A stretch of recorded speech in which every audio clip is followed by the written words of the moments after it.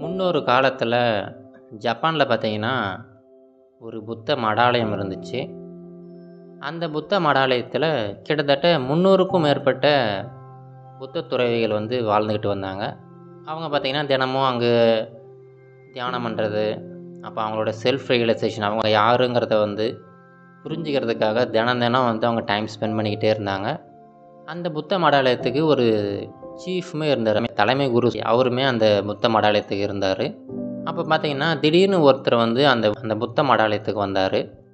வந்துட்டு இந்த இந்த குரு இருக்கார்ல தலைமை குரு இருக்கார்ல அவர்கிட்ட போயிட்டு ஐயா நானும் வந்து உங்களுடைய மடத்தில் சேரணும். சேர்ந்து நானுமே வந்து நான் யார் அப்படிங்கிறத நான் உணரணும் அப்படின்னு சொல்லிட்டு அவர் கேட்குறாரு அதுக்கு வந்து அந்த தலைமை குரு சொல்கிறாரு இங்கே பாருப்பா நீ வந்து வந்ததெல்லாம் சரிதான். ஆனால் நீ சொல்கிற அந்த விஷயம் நடக்கிறதுக்கு ரொம்ப நாள் எடுக்கலாம். நீ யாருங்கிறத உணர்றது வந்து அவ்வளோ ஈஸியான விஷயம் கிடையாது. அது ஒரு சில மாதங்களில் நடக்கலாம் இல்லை ஒரு சில வருடங்கள் நடக்கலாம். இல்லைன்னா உன்னுடைய லைஃப் டைம் ஃபுல்லாக கூட நீ வந்து அந்த தேடல்லே வந்து உன் வாழ்க்கை முடிஞ்சு போயிடலாம் இதுக்கெல்லாம் நீ தயாராக இருக்கியா அப்படின்னு சொல்லிட்டு அந்த தலைமை குரு கேட்குறாரு அதுக்கு வந்து உடனே அந்த வந்தவர் வந்து நான் எல்லாத்துக்குமே தயாராக தான் ஐயா வந்திருக்கேன். நீங்கள் என்ன சொன்னாலும் நான் கேட்குறேன். நான் வந்து திரும்ப போக போகிறது கிடையாது. நீங்கள் என்னை வந்து ஒரு சிஷியனாக ஏற்றுங்க அப்படின்னு சொல்லிட்டு புதுசாக வந்த அந்த மனிதர் வந்து இந்த புத்த துறவிக்கிட்ட கேட்குறாரு உடனே அந்த தலைமை குருவுமே சரிப்பா இப்போ ஒன்று பண்ணு. அதாவது நான் இப்போ உனக்கு ஒரு வேலை சொல்கிறேன் இந்த வேலையை நீ செஞ்சுக்கிட்டே இருக்கணும். நான் வந்து திரும்ப நானாக வந்து உன்னை மீட் பண்ணுவேன். நீயே வந்து என்னை மீட் பண்ணக்கூடாது. அப்படின்னு சொல்லிட்டு அவருக்குன்னு ஒரு வேலையை வந்து ஒதுக்கி கொடுக்குறாரு. அது என்ன வேலைன்னா அந்த புத்த மடாலயத்தில் கிட்டத்தட்ட முந்நூறுக்கும் மேற்பட்ட புத்த துறவிகள் இருக்காங்க. அவங்க எல்லாருக்குமே தினமும் சாப்பாடு தயார் பண்ணுறது தான் இவருக்கு கொடுக்கப்பட்ட வேலை. முந்நூறு பேர் இருக்கிறதுனா யோசிச்சு பாருங்கள் தினமும் காலையிலேருந்து நைட்டு வரைக்கும் வேலை இருந்துக்கிட்டே இருக்கும். இவருமே தினமும் காலையில் எழுவார் சாப்பாடு தயார் பண்ணுவார் அப்புறம் மதிய சாப்பாடு அப்புறம் இரவு சாப்பாடு அப்படின்னு சொல்லிட்டு சாப்பாடு தயார் பண்ணிக்கிட்டே இருப்பார். இப்படியே பார்த்திங்கன்னா ஒரு சில நாட்கள் கடந்து போகுது. தினமும் காலையில் சீக்கிரமாகவே எழுந்துருவார் அவரோட வேலைகளை ஆரம்பிச்சிருவார். அப்படி போயிட்டு இருக்கும்போது பார்த்தீங்கன்னா அவருக்கு வந்து ஒரு சில டைமில் ஒரு சில தாட்ஸ்லாம் வந்து வந்து போகுது.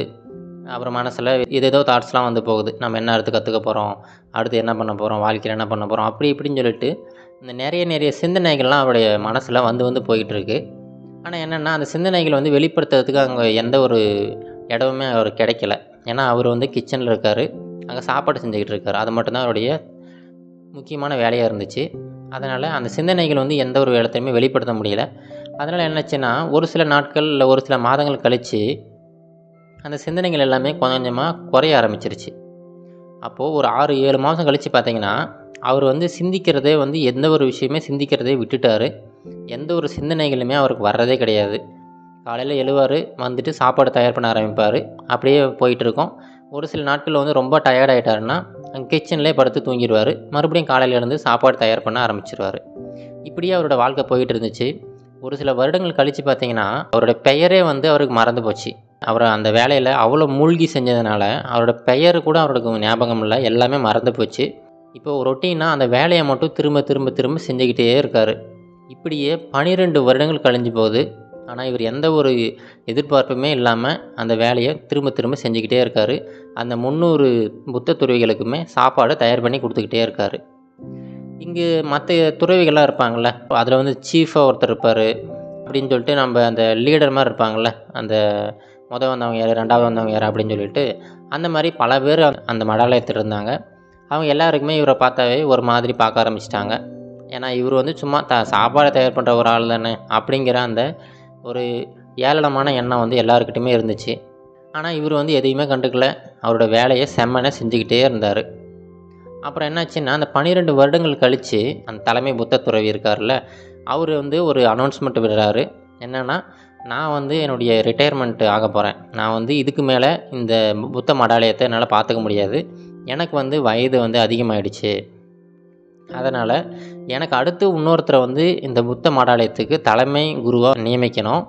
அதுக்காக என்ன சொல்கிறாருன்னா அவருடைய ரூம் இருக்குல்ல அந்த ரூமில் வந்து பக்கத்தில் அவரோட ரூமில் வந்து ஒரு சுவர் இருக்குது இந்த சுவத்தில் இந்த முந்நூறு பேர் இருக்காங்கல்ல இதில் யார் வேணாலையும் வந்து அவங்க இது வரையும் கற்றுக்கிட்டது என்ன?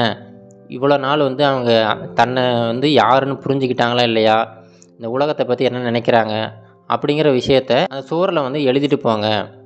அந்த சுவரில் எழுதுனதில் யார் பெஸ்ட்டாக எழுதுறீங்களோ அவங்கள தான் அடுத்து வந்து இந்த புத்த மடாலயத்துக்கு தலைமை குருவாக நியமிக்க போகிறேன் அப்படின்னு சொல்லிட்டு ஒரு அனௌன்ஸ்மெண்ட்டை அவர் விடுறாரு. இதை கேட்ட உடனே அங்கே இருக்கிற பல புத்த துறவிகளுக்கு வந்து நாமளும் எழுதலாமேன்னு சொல்லிட்டு ஒரு ஆசை வருது. அதில் பார்த்தீங்கன்னா அந்த புத்த துறவிகளிலே வந்து ரொம்ப சீஃபாக ஒருத்தர் இருக்கார். அது ரொம்ப முன்னாடி காலத்துலேருந்தே அந்த மடாலயத்தில் இருக்கிறவர் ஒருத்தர் இருக்கார். எல்லா மற்ற புத்த துறவிகளுக்கு எல்லாருக்குமே ஒரு நம்பிக்கை என்னென்னா இப்போ அந்த தலைமை குரு போயிட்டாருன்னா அதுக்கு அடுத்து இவர் தான் வருவார் அப்படின்னு சொல்லிட்டு எல்லாருமே நம்பிக்கிட்டு இருக்காங்க.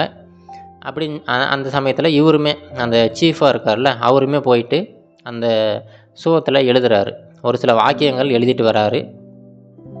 அடுத்த நாள் பார்த்தீங்கன்னா அந்த தலைமை குரு வந்து அதை படித்து பார்க்குறாரு படித்து பார்த்துட்டு எந்த முட்டாள் வந்து இந்த செவத்தில் இது எழுதுனது அப்படின்னு சொல்லிட்டு கேட்குறாரு அந்த எழுத்துக்கள் கீழே பார்த்தீங்கன்னா அந்த சீஃப் வந்து எந்த ஒரு சைனுமே போடலை பேருமே எதுவுமே எழுதலை. ஏன்னா அவர் சொன்ன விஷயத்தில் அவருக்கே வந்து நம்பிக்கை இல்லை. என்ன அப்படி எழுதியிருக்காருன்னு பார்த்தீங்கன்னா நம்ம மனசு அப்படிங்கிறது என்னென்னா ஒரு கண்ணாடி மாதிரி. அந்த கண்ணாடிக்கு மேலே நம்மளுடைய சிந்தனைகள் நம்மளுடைய ஆசைகள் இந்த உலகத்துக்கு மேலே இருக்கிற பற்று பொருட்கள் மேலே இருக்கிற பற்று இது எல்லாமே தூசுகள் மாதிரி தான் அந்த கண்ணாடி மேலே தூசுகள்லாம் படிய ஆரம்பிக்கும். அந்த தூசுகளை க்ளீன் பண்ணுறது எப்படின்னா நம்ம தியானம் பண்ணுறது மூலமாக தான் அந்த டஸ்ட்டு எல்லாத்தையுமே நம்ம வந்து ரிமூவ் பண்ண முடியும் அப்படின்னு சொல்லிட்டு அவர் எழுதியிருக்காரு. இதை பார்த்த உடனே அந்த தலைமை குரு வந்து இது என்ன ஒரு முட்டாள்தனமான ஒரு வாக்கியமாக இருக்குது இது எல்லாமே குப்பைக்கு போக வேண்டிய வாக்கியங்கள். இது யார் எழுதுறது அப்படின்னு கேட்குறாரு. ஆனால் யாருமே வந்து அவருமே அவர் ஒத்துக்கவே கிடையாது. நான் எழுதுனேன்ட்டு மற்றவங்களுமே யாருமே சொல்லலை. அதை அப்படியே விட்டுறாங்க. இப்போ என்ன ஆகுதுன்னா அந்த புத்த துறவைகளில் ஒரு ரெண்டு பேர் வந்து அப்படியே பேசிக்கிட்டே நடந்து போயிட்டுருக்காங்க அவங்க நடந்து போகும்போது பார்த்திங்கன்னா கிச்சனை தாண்டி போய்கிட்டு இருக்காங்க. அப்படி போகும்போது அவங்க என்ன சொல்கிறாங்கன்னா இந்த மாதிரி நம்மளுடைய சீஃப் வந்து அந்த வாக்கியங்கள் எழுதினார்ல அந்த வாக்கியங்களை வந்து அவங்க சொல்லிகிட்டே போகிறாங்க இந்த வாக்கியங்கள்லாம் நல்லா தான் எழுதியிருக்காரு. ஆனால் நம்ம தலைமை குரு வந்து அது எல்லாமே குப்பைக்கு போக வேண்டிய வாக்கியங்கள்னு சொல்லிட்டாரு அப்படின்னு சொல்லிட்டு அவங்க பேசிக்கிட்டு போயிட்டுருக்காங்க. இதை கேட்ட உடனே அங்கே சாப்பாடு செஞ்சுக்கிட்டு இருக்காருல பன்னிரெண்டு வருடங்கள்லாம் அங்கேயே சாப்பாடு செஞ்சுக்கிட்டே ஒருத்தர் இருக்காருல்ல. அவருக்கு வந்து இதை கேட்ட உடனே சிரிப்பு வந்துடுது அவரை அறியாமலே சிரிக்கிறாரு. இதை பார்த்த உடனே அந்த ரெண்டு துறவிகளும் உள்ளே வந்து எதுக்குப்பா சிரிக்கிற? நாங்கள் சொன்னது என்ன? உனக்கு ஜோக் மாதிரி இருக்கா? அப்படின்னு சொல்லிட்டு கேட்குறாங்க அதுக்கு அந்த சாப்பாடு செய்கிறாருல்ல அவர் வந்து என்ன சொல்கிறாருன்னா ஆமாங்க அவங்க தலைமை குரு சொன்னது சரிதான். இந்த வாக்கியங்களில் எந்த ஒரு அர்த்தமுமே கிடையாது. இந்த வாக்கியங்கள் அனைத்துமே குப்பைக்கு போக வேண்டிய வாக்கியங்கள் தான் அப்படின்னு சொல்லிட்டு அவர் சொல்கிறாரு உடனே இந்த ரெண்டு துறவிகளுமே அவர்கிட்ட ஒரு சவால் மாதிரி விடுறாங்க.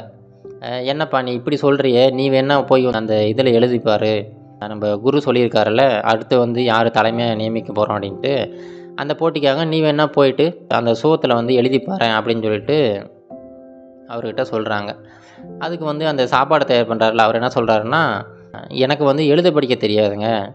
நான் வேணா நான் என்ன சொல்ல வரனோ அதை நான் வாயில் சொல்கிறேன் நீங்கள் வேணா எழுதுங்க அப்படின்னு சொல்லிட்டு அவர் சொல்கிறாரு சரி வாப்பா அப்படின்னு சொல்லிட்டு மூணு பேரும் கிளம்பி அந்த தலைமை குருவோட அறைக்கு போகிறாங்க போயிட்டு இவர் சொல்ல சொல்ல அந்த ரெண்டு துறவிகளுமே அந்த அந்த சோத்தில் வந்து எல்லாத்தையுமே எழுதிடுறாங்க. இப்போ அடுத்த நாள் என்ன ஆகுதுன்னா அந்த தலைமை குரு இருக்கார்ல அவர் வந்து அப்படியே இப்போ வெளியில் வந்து பார்க்குறாரு பார்த்துட்டு அந்த வாக்கிங்களை படித்து பார்த்துட்டு இதில் கீழே பார்த்தீங்கன்னா இவரோட பெயருமே எழுதியிருக்கு.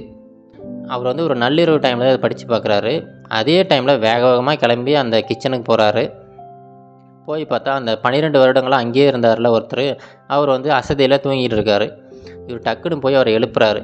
எழுப்பிட்டு தம்பி கொஞ்சம் வாப்பா அப்படின்னு சொல்லி கூப்பிட்டு வராரு. கூட்டிகிட்டு வந்து அவர்கிட்ட ஒரு செங்கோல் மாதிரியான ஒரு அமைப்பு இருக்குது அந்த செங்கோலையுமே அவர்கிட்ட கையில் கொடுக்குறாரு. கொடுத்துட்டு நீ தான்ப்பா அடுத்து வந்து இந்த புத்த மடாலயத்துக்கு தலைமையாக இருக்கணும். நீ தான் வந்து அடுத்த தலைவர் அப்படின்னு சொல்லி சொல்கிறாரு ஆனால் என்ன சொல்கிறாருன்னா இப்போ நீ வந்து இந்த தலைமை பொறுப்பை ஏற்றுக்கிட்டா மற்ற புத்தத்துறைகள் எல்லாருமே வந்து ஏற்றுக்க மாட்டாங்க. அவங்க வந்து உன்னை வந்து ஒரு ஏளனமான ஒரு பொசிஷன்லாம் வச்சுருக்காங்க. இது வந்து உன்னோட உயிருக்கே ஆபத்தாக முடிஞ்சிடும் அதனால் நீ என்ன பண்ணு? என்னோட ஆசீர்வாதம் உனக்கு எப்போவுமே இருக்கும். நீ வந்து உன்னுடைய செல்ஃப் என்லைன்மெண்ட்டை வந்து நீ அடைஞ்சிட்ட. அதாவது நீ யார் அப்படிங்கிற விஷயத்த வந்து நீ தெரிஞ்சுக்கிட்ட. அதனால் தயவு செஞ்சு நீ இங்கேருந்து கிளம்பி போயிடு. போகிற வழியில் உனக்கு தெரிஞ்சவங்ககிட்ட பேசு. உன் நீ கற்றுக்கிட்ட விஷயங்களை வந்து நீயே ஒரு மடாலயத்தை உருவாக்கு?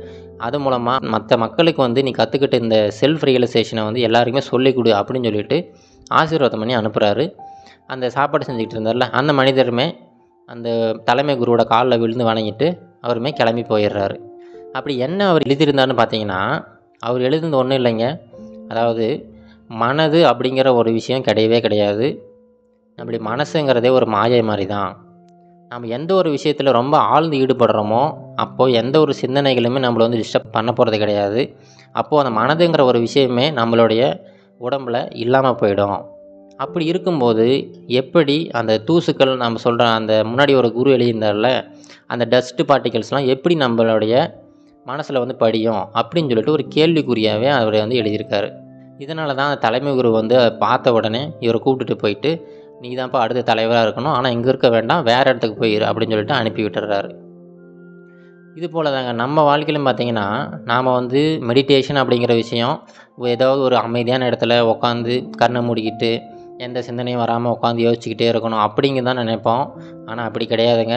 நீங்கள் செய்கிற வேலை எந்த ஒரு வேலையாக வேணால் இருக்கலாம். அந்த வேலையை ரொம்ப ஆழ்ந்து செய்ய ஆரம்பிச்சிங்கன்னா வச்சிங்களேன் உங்களுடைய சிந்தனைகள் எல்லாமே குறைய ஆரம்பிச்சிடும் நாளடைவில் உங்களுடைய மனசே வந்து எந்த ஒரு சிந்தனையுமே செய்யாமல் உங்கள் மனசு இருக்கிறதே உங்களுக்கு வந்து ஃபீல் பண்ண முடியாது. நீங்கள் ஒரு தூய்மையான ஒரு மனிதராக மாறிடுவீங்க.